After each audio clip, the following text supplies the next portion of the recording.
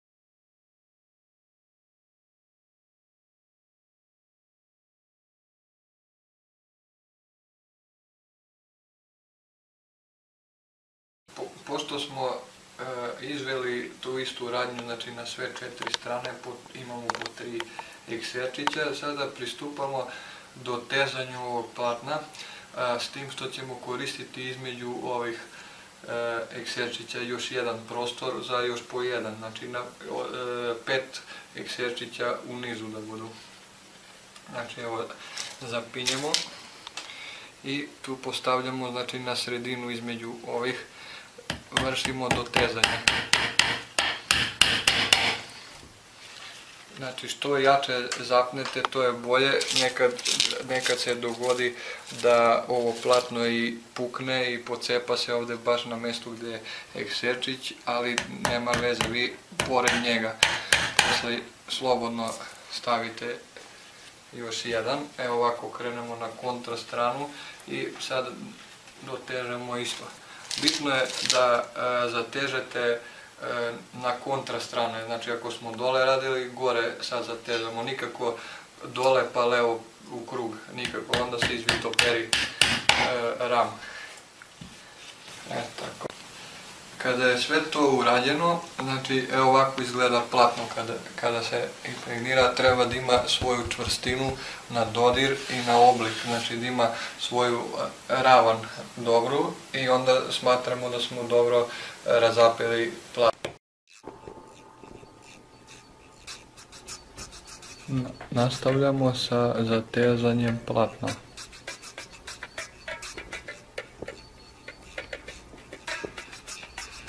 Tako što ćemo između već zakovanih heksera zakovati još po jedan.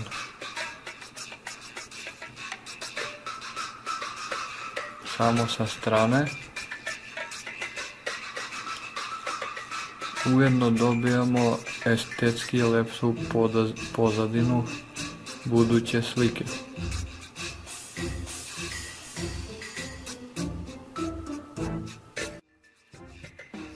Kada smo zatekli, zategli platno, nanosimo podlogu koju pravimo na sljedeći način.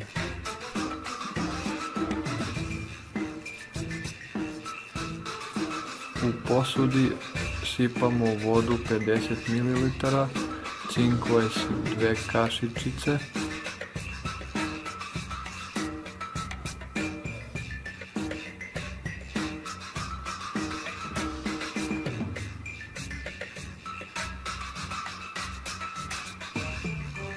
mešamo ove dve komponente.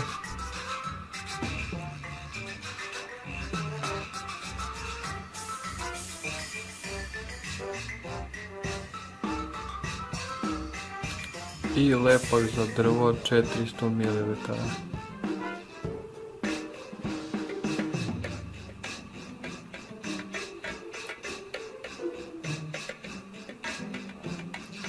Sve to dobro promešamo.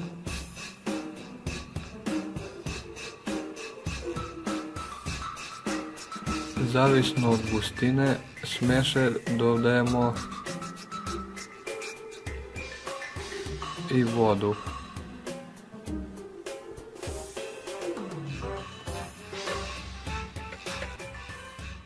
Uzimamo i kvasimo četku kojom nanosimo napravljenu podlogu na razapetom platnu. Nanosimo u podužnom pravcu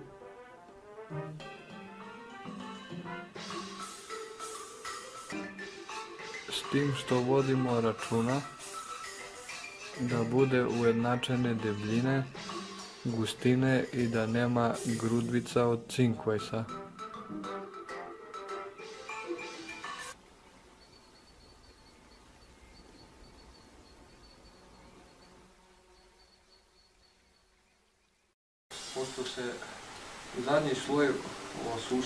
Znači evo pogledamo i kako treba da izgleda.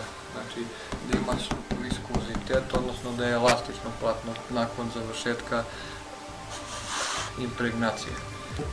Odnosno da ima da gladak svoj bude i da bi mogli da izvedemo najbolje moguće, e, treba da je glatko. A to ćemo postići e, tako što ćemo išmižvati. Nakon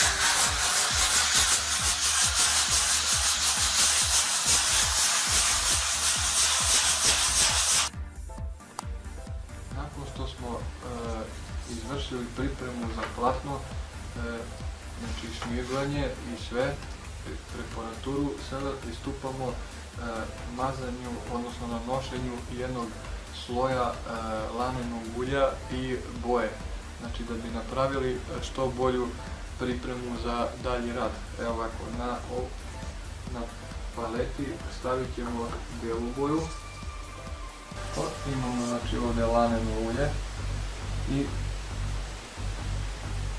razvlažimo ovako i nanosimo sada. Krenemo od ozgo. Znači nanošenje u tankom sloju da bi e, ovo platno upilo i laneno ulje i boju. Pogle- Pogledamo pod svetlošću ovako dalje vidi se kao da je mokro, odnosno to nam je najbolji pokazatelj da vidimo da ne preskočimo neki deo. Dali smo namazali kako treba ovaj svoj pod svetlošću pod nekim uglom gdje se isvijava, evo ovako. Tako, sada je ovo platno spremno znači, za rad, da se izvrši skiciranje i e, nameštanje kompozicije u, ovom, u ovoj fazi, ali sačekat ćemo jedno dva sata da povuče, pa onda krećemo sa radom.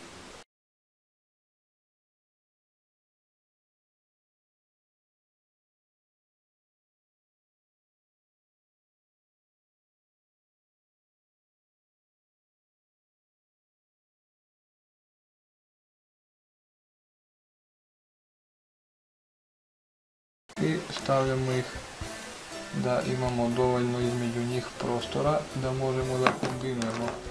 Znači, evo. Stavili smo četiri boje i sada možemo krenuti sa radom. Znači odaberemo četvicu isto najširiju pošto krećemo sa širokim potezima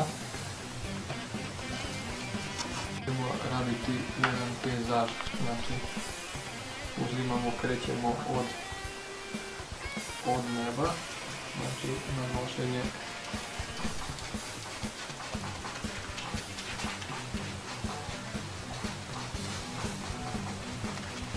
u tankim slojevima, nanošenje prvo tri, e, tri dela, odnosno tri neke cjeline i biramo za, za pejzaž, biramo da, da nam budu e, visina brda i, elemenata do e, dve trećine, da uzima prostor, odnosno glavna tema i ostalo da uzima e, donju trećinu. Prostor vazdušni bez bez svoje gustine. Znači moramo što više ovako razmadati. Imamo jedan e, pejzaž sa vodom, odnosno sa rekom, koji će ići ovako. Znači, ići će tu i ovamo završavamo. Sad radimo znači, neku e, provizornu skicu. Evo ovako, stavljamo namerno, znači slobodno stavite ovako. Znači, odavde ćemo krenuti i tu. Znači, da imamo neki, e, neku orijentaciju gdje će nam, e, gdje će nam biti šta možemo ovako samo da postavimo. I sad pored ovoga potrebne su još malo boje znači koje imate ili možete napraviti. Stavljamo brdo odnosno najveću daljinu ovako najblaže najblaže najblažu nijansu pravimo znači evo ovako to je formiran, formiramo brdo. Znači blagoljubičasta E, stavljamo je ispod ove, znači s tim što malo za s tim što malo samo pojačavamo, znači može čak i na licu mjesta, evo pravimo nijansu, znači trebate pozna, poznavati boje veoma dobro. I sad imamo, vidite ovo brdo koje je ne, sa ovim, odnosno ne vezano za njih. Treba ga odvojiti nekom nijansom i kako ide na dole onda je tamnije. I malo bela. Znači, i onda i postavljamo sada jednu ovakvu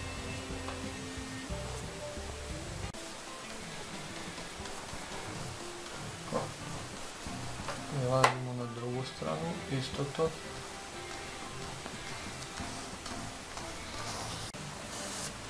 A ovdje je voda. Znači, ovako već postavljamo crtež za buduću sliku. Popunjavamo sada ovaj deo. Tako. Bravo, da napravimo ponovo, slobodno koristite ako već imate gotovu. Najdalji deo, pa malo blago ljubičasta, pa prema brown malo i već žućkasto zelenkaste nijanse dolaze sve bliže i bliže nama. U ovom slučaju sa leve strane na desnu pada sunčeva svetlost i pravi senke, znači od ovog brda prvog senke su ovdje. Znači slobodno ovaj deo mo- zatamniti gdje imamo svetlost, imamo već svetli nijansu zelene boje. Tamne boje, znači najtamnije brown, ljubičaste, oivičit ćemo ovdje ovu livadu. Znači ovo ćemo zatamniti ovu površinu slobodno, znači jer je tu Evo ovdje može biti voda ovakve nijanse i vodu crtamo, znači slikamo ovako potezima horizontalnim. Moramo voditi računa gdje pada senka. Znači evo ovdje, ovdje i što je bliže nama to je šira. Zavisno od toga da li ima e, nečega tu. Tla i zemljišta. Znači ovako pravimo jednu ravan dok ivičavamo ova, ova brda i ove livade, odnosno ovu repu. Tu ćemo staviti nijanse najdrčavije, znači u prvom planu stavljamo najdrčavije nijanse, najtamnije, znači bit će ovako.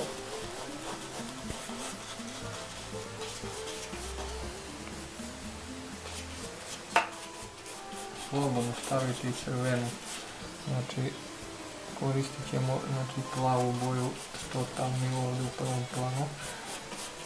Ovako. Da bismo odvojili ovu vodu od livade. Ovakvim potezima pravimo travu. A poslije ćemo sitnijom četkicom napraviti detaljnije. Tako, postavili smo taj crtež, odnosno sad uzmemo ovu livadu da uradimo.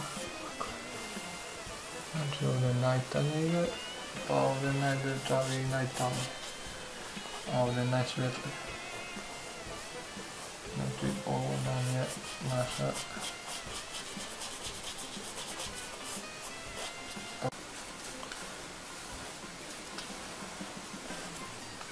sad možemo malo i zatamniti ove, ove senke.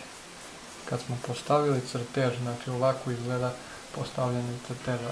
Sada pristupamo za, e, postavljanju sljedećeg e, dela. Ušćuje ova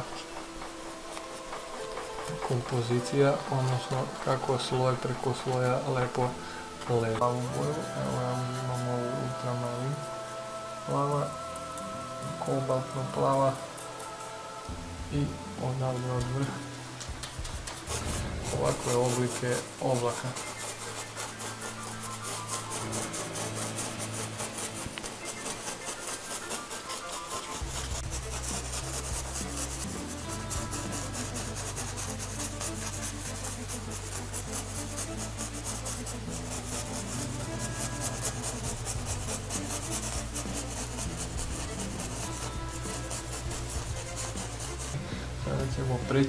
Na postavljanje sljedeće faze, odnosno e, manjom četkicom manjim četkicama uraditi znači objekte koji se nalaze ovdje na zemlji.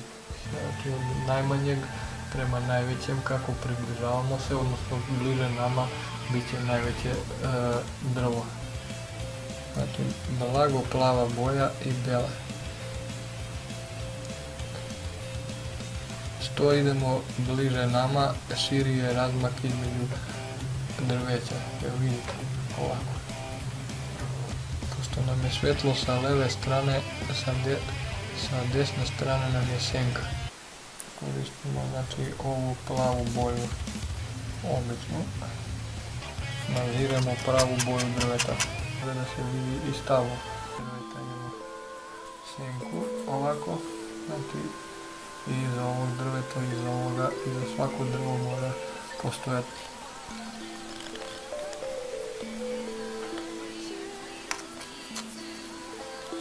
a sad stavljamo ovaj prednji deo, odnosno osvetljeni. Uvijek težite da od tamnije nijanse e, pravite svetliju nego obrnuto. Ovo je boja. Znači u njemu ima smola, što znači da ima i crvenkastu i ljubikastu nijansu. Ovdje postavljamo prvo krosnu. Preći ćemo na levu stranu da bi malo povukla ova strana gdje smo stavljali boju. Znači, ovdje ćemo formirati drvored isto, s tim što je ovdje bliže u odnosu na ovaj deo, ovdje je bliže dole, pa su veće i stablo, znači formiramo, otprilike prenesite ovako ovaj deo, prenesete ovdje zbog daljine koje gledamo. Znači, ovo stablo treba biti veće od ovog stava. Kad gledate ovdje, do ovdje i ovaj deo do vas. Znači ovdje je bliže, što znači da ovdje treba bude biti veće stablo. Evo ovako. Naravno, tokom, tokom povlačenja poteza e, morate imati u vidu da se odvaja jedno, od drugo. Vidite kako ovi potezi odvajaju površine od ovu, od ovu, od ovu i okolnu. Stabla imamo jednu senku i ona se prenosi, pošto je veliko ovoliko drvo, prenećemo znači dve trećine drveta prenećemo u vodu, znači ovako, pada dole. Znači ona je u vodi je tamno plava, evo ovako, znači pošto imamo prelom od talasa i nevaravne površine, stavit ćemo čak i dole. E, sljedećih stabala, znači ona bit će ovdje, pa izmjerite slobodno ovako, znači da odavde do ovdje i sad ovdje treba da ima veći razmah, znači ako pogrešite slobodno idite ovako, znači razvučite ovo što ste naneli, tako, i ja ću ovako iskoristiti ovdje, pa ću staviti ovdje, slobodno, znači najveće stavlo je ovdje, povučite, znači paralelno sa, sa ivicom, slobodno povucite potez. Postav. Vidite kako ove e, grane preklapaju e, ovo stablo. Znači slobodno ima ta, ta sloboda poteza je takva da od ulja radimo prvo najdalje pa onda prema na pustite jednu liniju. Znači to je e, horizontalna horizontalna senka na takvoj horizontalnoj površini. Na ovu stranu su tamnije, odnosno koristimo i crvenu boju, i plavu, i žutu.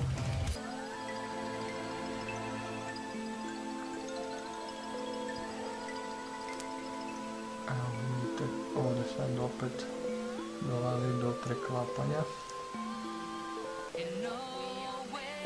I sada šta radimo dalje? Uzimamo i zatamnjamo, znači pošto smo postavili grančice treba imati, one treba imati svoju senku, odnosno njihova senka je ljubičasta tamna. Imamo drugu četkicu i sada ćemo zatamniti ovu vodu. E,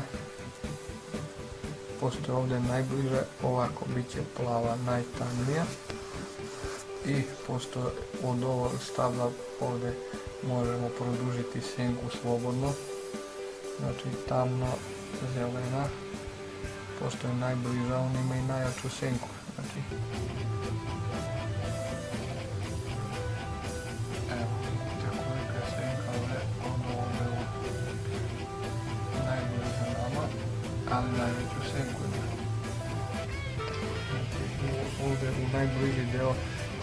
biti najtamnija. Znači ovdje imamo ovako nijanse, prelamanje.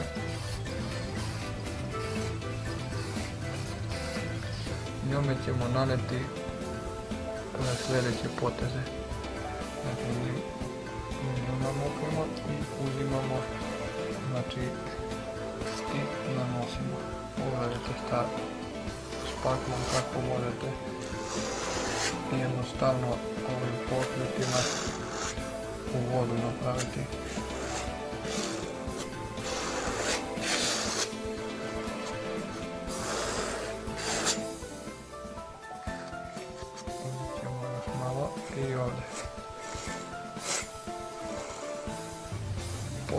I potezima.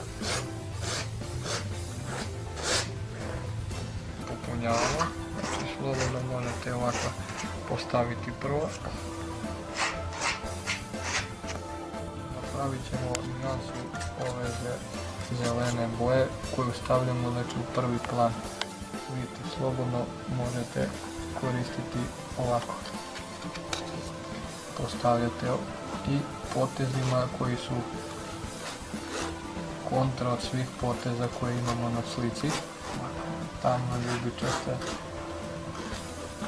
i najoštriji. Znači evo zatamnit ćemo ovaj deo.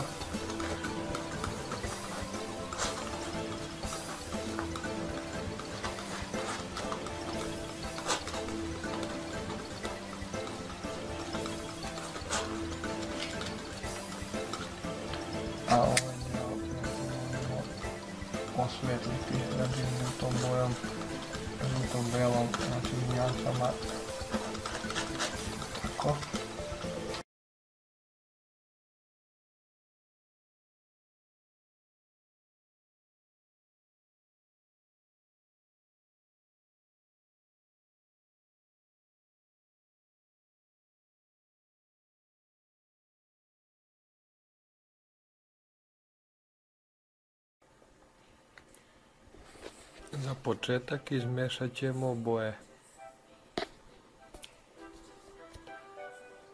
Uzimamo belu, pa zatim plavu.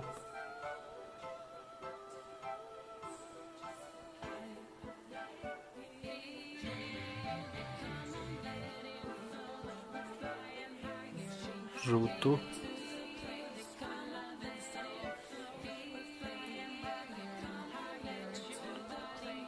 Zatim krećemo sa postavljanjem pozadine.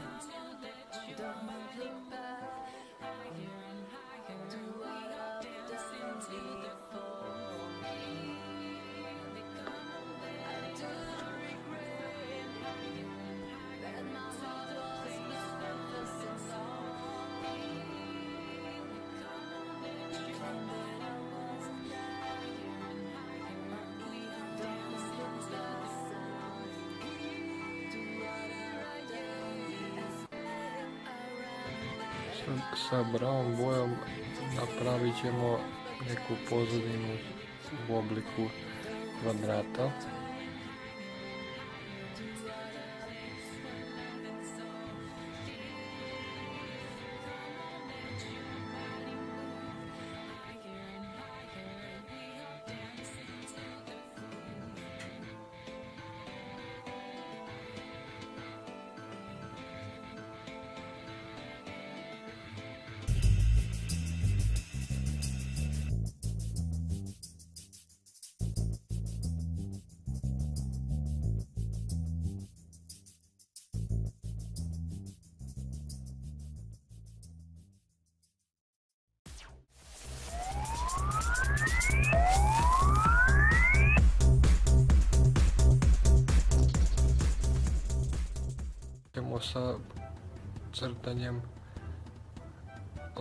sa suncokreta.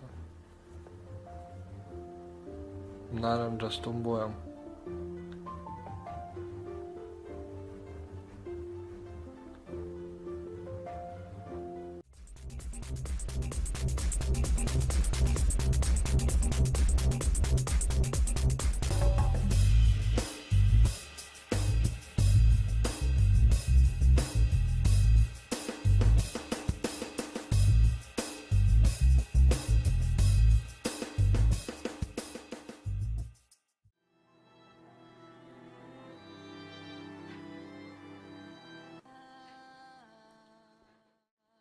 Yaxshi jedan Suncokret.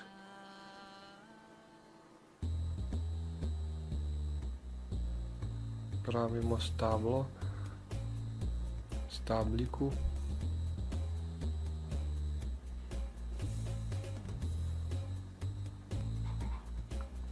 Plavom i zelenom bojom.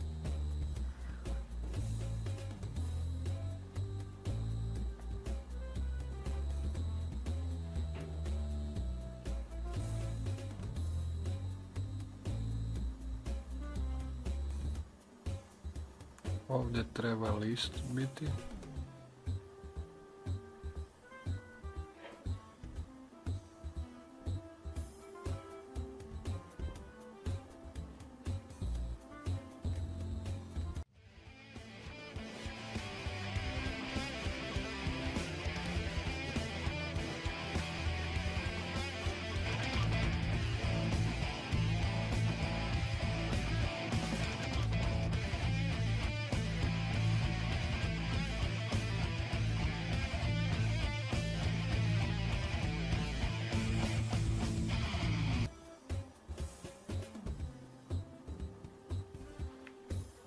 sitni listići oko cveta.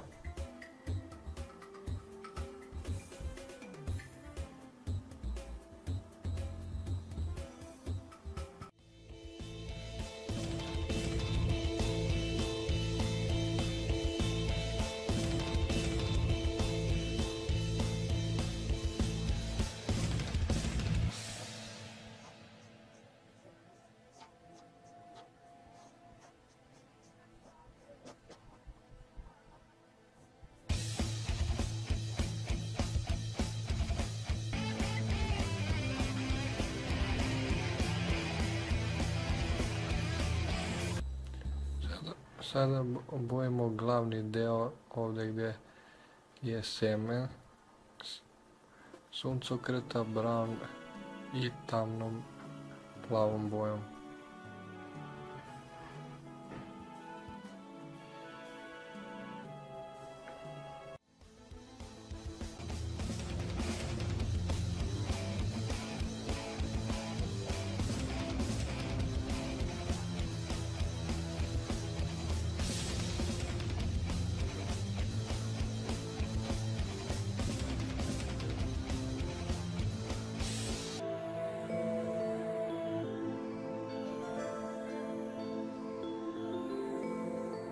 Sada prelazimo na ovaj drugi cvet. Isto tako latice narandastom bojom.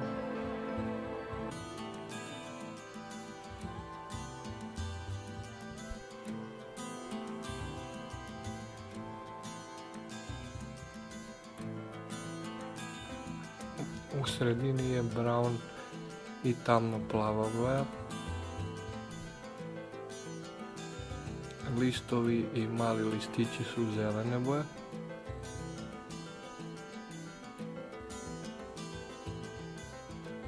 I na trećem cvetu isto.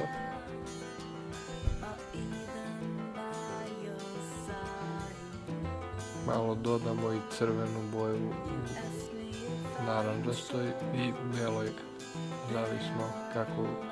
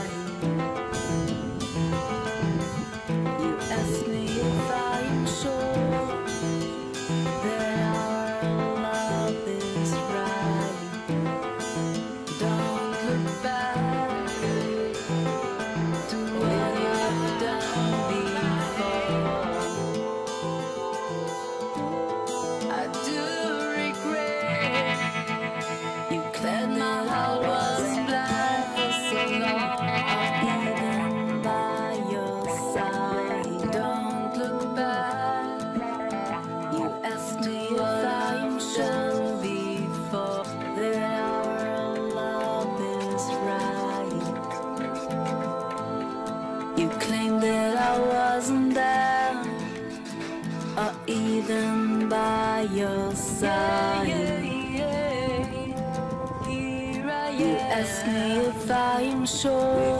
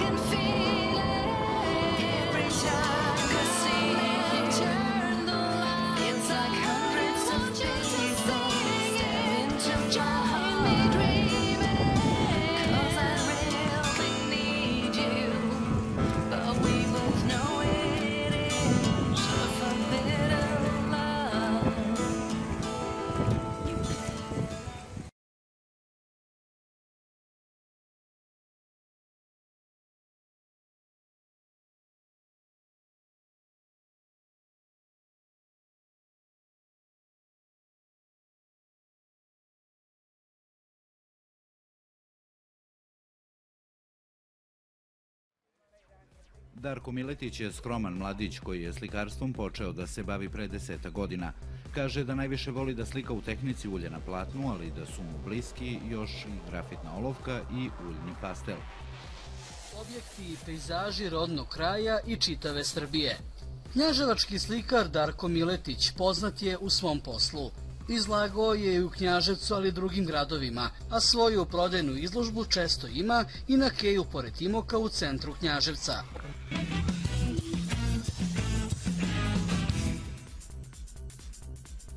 U galeriji Radu Begova Konak u 19 sati održat će svoju prvu samostalnu izložbu slika u Zaječaru Darko Miletić, slikar iz Knjaževca. Dobroveče i dobrodošli. Dobro večer, hvala na pozivu. Inspiraciju nalazim e, znači svuda oko mene, znači u nekim lepim momentima e, i e, u prirodi najviše. Znači, u, na, u našim krajevima imamo u izobilju lepe pejzaže koje svakodnevno viđam, a koje kasnije na platnu prenosim. Često imate ovde na Knjaževačkom Keju vašu prodajnu izložbu slika i kakvo interesovanje za vaše slike? Da, da, e, imam svakodnevno, tu je i školica slikanja redovna za mlađe uzraste, odnosno ne, neafirmisane e, e, buduće slikare. Spremno za izložbu slika, evo tu su i flajeri, tu je i poster, ima i kataloga i sve onako kako treba. Em, ono što vidimo nas je zaista impresioniralo. Prvo da predstavimo izložbu, koliko će e, radova biti izloženo. E, Hvala puno, ovaj, bit će 17 mojih slika. Koji su najčešći motivi koje... Na, najčešće e, radim e, etno motive, na- manastire. Li učestvujete u nekim likovnim kolonijama?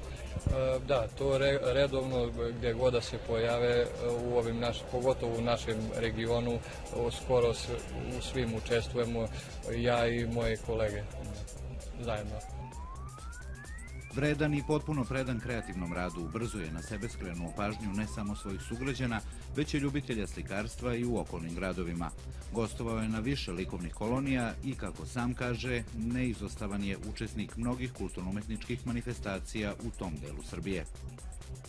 Najveće dostignuća imao sam znači, na kolonijama kao što su a, na Vlasinskom jezeru 2009.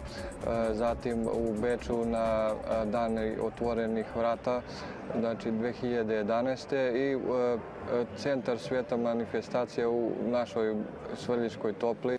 Stara seoska arhitektura i prirodne lepote knjaževačkog kraja zabeleženi su na njegovim platnima koji su uh, u, razno, u, ra, u razno razdoblje ra, rađene od 2003. do 2015. Mm -hmm. i bit će prikazano. Znači, to je uh, nešto iz uh, te radinosti moje, kao što sama izložba nosi naziv etnoimpresija, takvi su i, i radovi, znači u, sa tom temom.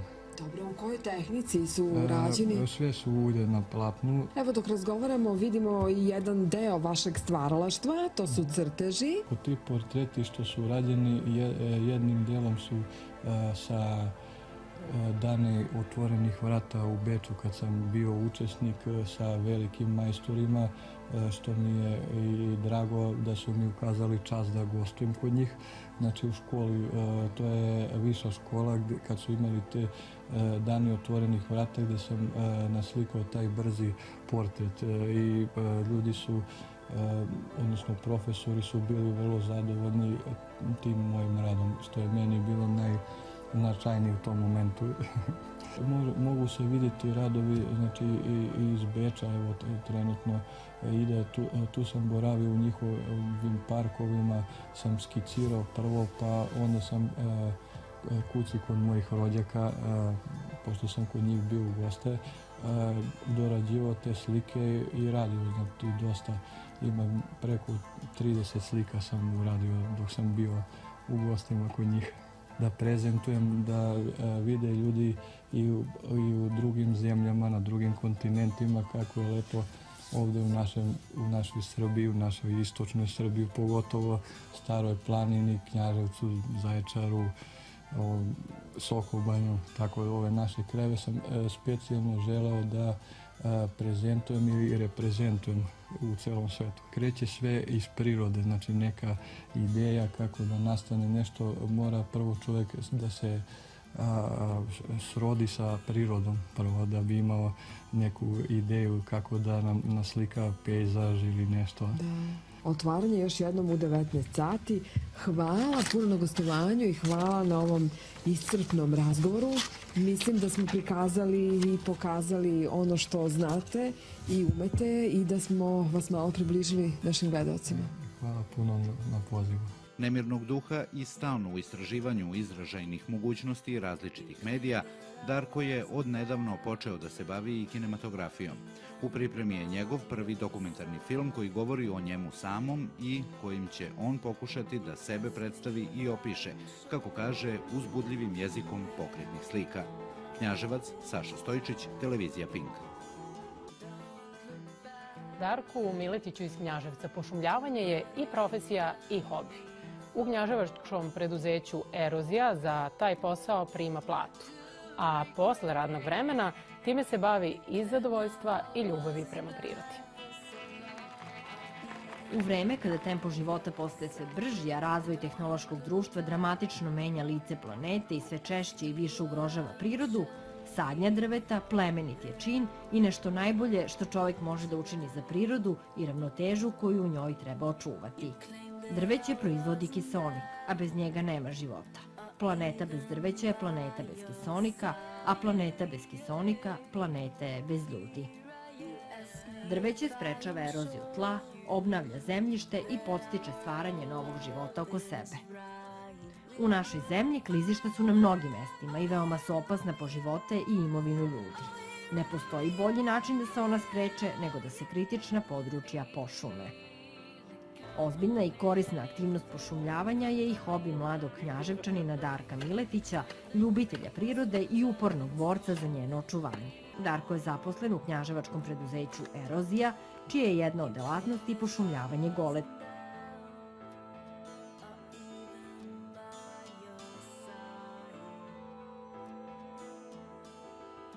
Darko često obilazi površine koje je pošumljavao, proverava kako napreduju zasađene biljke, a po potrebi organizuje i akcije zalivanja. Kaže da je kesten zbog svog razvijenog korena najbolja odbrana od klizišta.